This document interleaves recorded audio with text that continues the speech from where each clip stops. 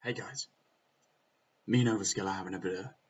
We're thinking about doing a revolution on the server, and so we've got it all planned out. We've got a little pumpkin shack and wearing the right armor for it and whatnot. So where, where, where are we? We've got step one. Step one, gather a following. It's very important. You need an army to overthrow the evil one, not Chester. That's a different evil one. step two, eliminate. Wait, that's not step two.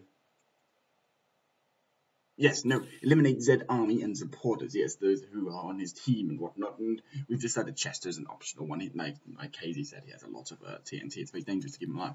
Step three, retreat, because at that point it will be going badly for us and we'll probably be in prison. Step four, charge, because how else are you going to win? Step five, overthrow the evil one. Again, not Chester unless we so for choose. And step five, six, payback. Now that's an important one. We want to make Zed suffer. Right, now I need to go to the new meeting place. We'll have regular updates on how this is going. See, we've made it very secure. Nobody's going to know. No entry for Zedwick Army support. Is very important.